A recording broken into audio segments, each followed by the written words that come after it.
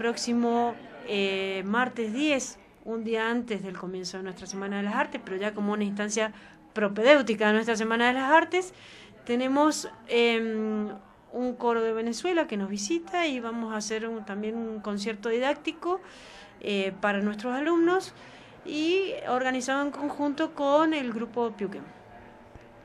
Eso va a ser el miércoles 10 a las 19.30 horas. Perdón, martes 10 a las 19.30 horas. Bueno, gracias a ustedes.